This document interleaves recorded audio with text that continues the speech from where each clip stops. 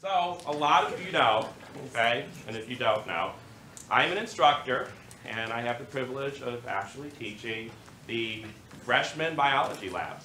And what's really neat about that class is that I go ahead and I have a whole vast array of students that I get to teach that have different interests. And the thing is, is that they all want to go ahead and start out with the subject that is their pre-professional category that they have chosen. I have people who are, vastly majority of them are pre-meds, pre-dents. Fairly recently, okay, are the physician assistant. I get a smattering of people who are pre-pharm, some pre-physical therapy, okay, some pre-optometry. But the one thing that they all have to do, okay, and go through, is they have to go through the freshman labs, and then they have to go through the animal diversity. Now, the thing is, is that they discover, okay, that they're really going to start talking and learning about subjects that have nothing to do with their professional background that they want to pursue. Okay? So they quickly discover, you know, you're going to learn about animal diversity. You're going to learn about all of these dissection tools. Okay? And then you're going to go ahead and have buckets of preserved specimens.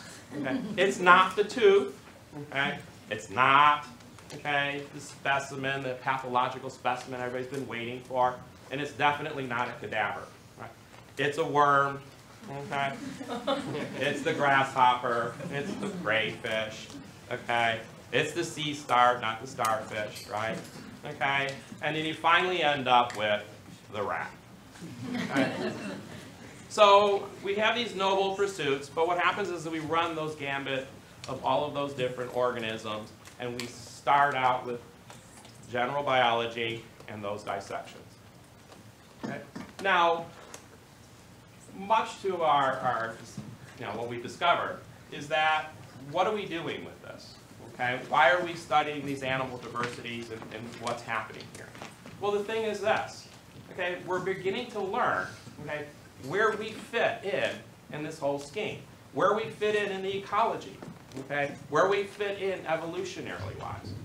Okay, remember, okay, what we're learning here is that we are humans and we're part of this organismal diversity that's part of the Earth's bio.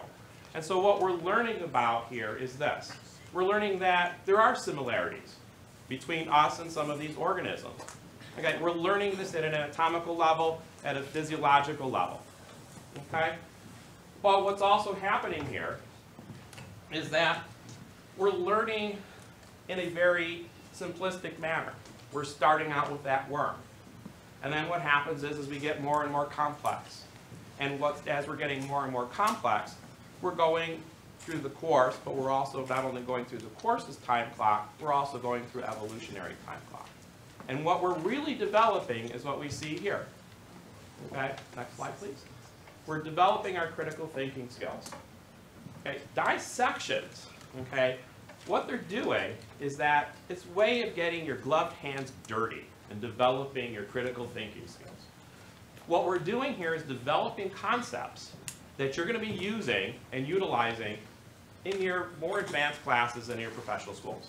Okay. Now, I also teach advanced physiology. I also teach the graduate level physiology and pathophysiology for our College of Health Professions.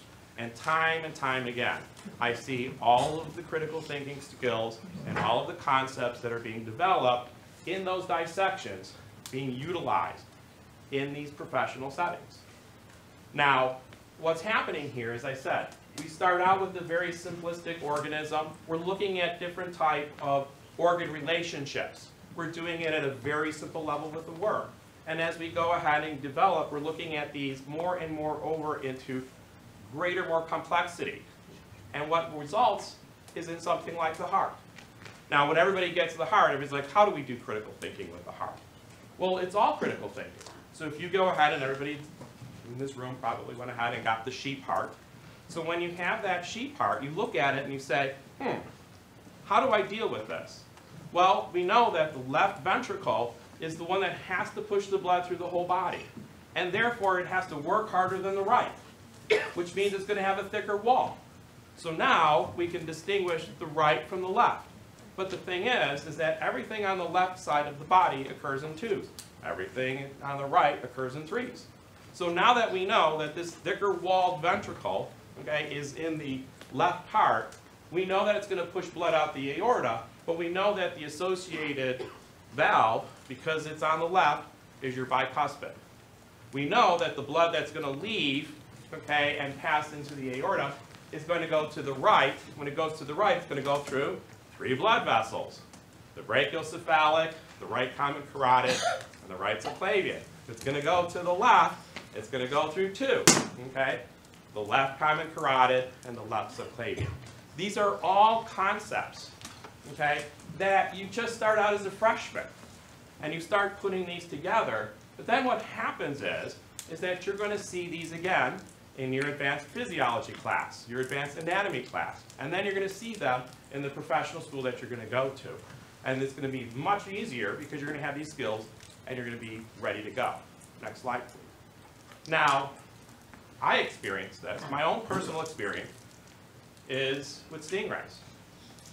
As a freshman, I went through the animal diversity, and I, at that time, couldn't even imagine that I would be working with Dasyatis sabina, is the Atlantic stingray.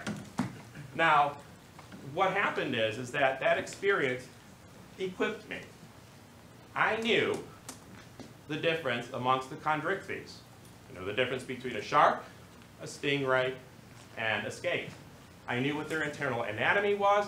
I knew what their physiology was at a foundational basic level. But then what I did is I looked at this organism and I said, I want to know about the morphology of the inside of the structure. So what I did is I did some scanning electron microscopy, and then I went ahead and looked at the epithelium, and then the arrows on the bottom, you can see our blood vessels. So I understood the vasculature. Then I did some transmission electron microscopy. What I did over here was looked at the cells and saw how they were connected. What were the junctions between them? What was the difference between their different membranes? And then what I did is took this and did some electrophysiologic work. Now the electrophysiologic work I did with this was investigating where ions are moving. So I investigated not only what ions are moving and in which direction, but how they're interacting with each other. Now you might wonder like, well, what's the contribution to that? Okay, and what does that have to do with the grand scheme of things? Okay, well, what it does is this. Next slide, please. It goes ahead and it's a model system for understanding how cystic fibrosis works. So who would have thought, okay, me as a freshman, would have gone ahead and gone through this diversity experience and then go ahead and wind up getting my PhD investigating the morphological and electrophysiologic features of the Atlantic stingray's alkaline gland. Now, cystic fibrosis is a disease that afflicts, afflicts the lungs. And so what happens here is that people have a problem moving chloride. And if you have a problem moving chloride, you can't hydrate your mucus very well, and then your airways get clogged up. But a lot of people don't realize that there's other problems with cystic fibrosis. And my model system is dealing with the, or the pancreatic duct that is occurring okay, in humans. So what happens is, is that this pancreatic duct is doing the same things that the alkaline gland is doing. It's moving chloride through something called the CFTR, the trans, or cystic fibrosis transmembrane regulator, and then that's allowing bicarbonate to move with it what's happening is, is that not only do you have lots of fluid moving through that duct, but what also happens is you neutralize the acids of the stomach, and then you allow the enzymes in the body to work. So it's very difficult to study the, the pancreas. It's very difficult to study what's happening in the pancreatic duct because it's in humans and it's small and it's difficult to get. What happens though is, is using a model system, what's happening is, is that now we can look at it and use it to study different drugs and how they interact to help people who have cystic fibrosis. Now, this all began with developing critical thinking skills.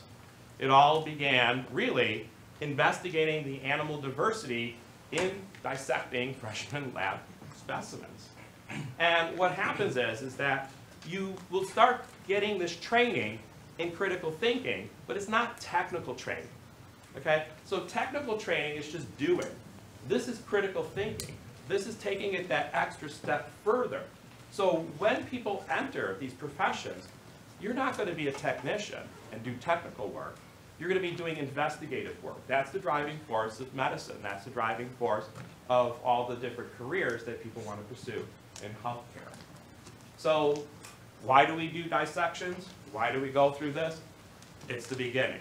It's the practice. It's the beginning of something that you're going to develop further and further and further until penultimately you're going to come up with something and look at things differently and say, hey, this organism does this better, this one does this better, this one doesn't do it at all. But what does it mean and how can we use that to understand medicine better?